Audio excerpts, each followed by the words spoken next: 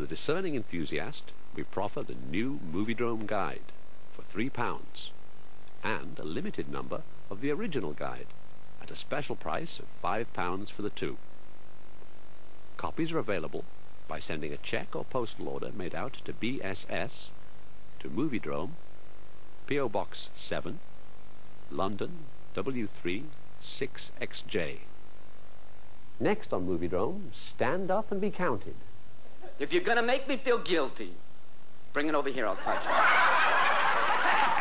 no, no, no, don't do me any favors. I'll just touch it myself. That's it, man. We're all the same schmuck. Dustin Hoffman is Lenny Bruce.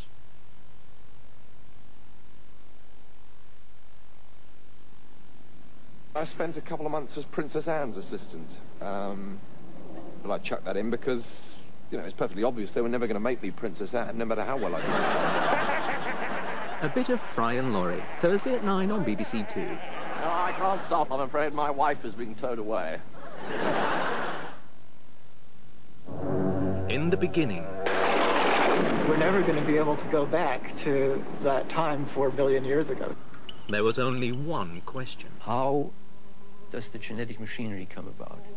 But more than one theory. potentially you can create life if you want anywhere in the universe Horizon asks the impossible. Tomorrow, 10 past 8 on BBC Two. Starting next Sunday here on BBC Two, the first of three new dramatised encounters, in which writers are given the freedom to imagine confrontations between famous figures from the past.